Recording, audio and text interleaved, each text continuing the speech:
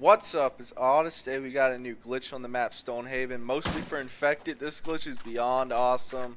As you can see, we can literally walk through this wall. This is perfect for infected, in my opinion. But yeah, I'll be showing you how to get to this. It's pretty easy once you get the hang of it. But at first, after about 50 tries, you're probably going to rage quit. But it's worth it.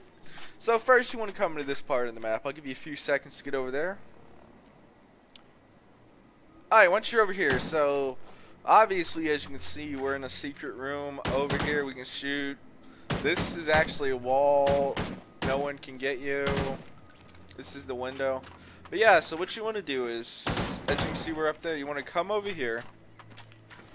Come to this little ledge right here, and you're going to use a strafe jump. So we got a strafe jump over into that window. Yeah, it looks pretty far but it's actually possible. As you can see, we flew pretty far. It took me a bunch of tries to get it, but I think it was worth it. So yeah, if I don't get it this time, just keep trying. It's worth it in my opinion overall. As you can see, it's sometimes hard. Oh, still have not got it.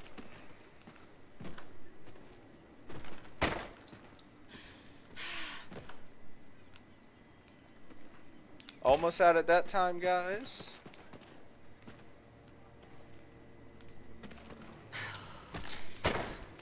So yeah, guys, I wasn't able to get it this time, but tell me what you guys think in the comments below. Subscribe for the latest news, games, and glitches. Peace.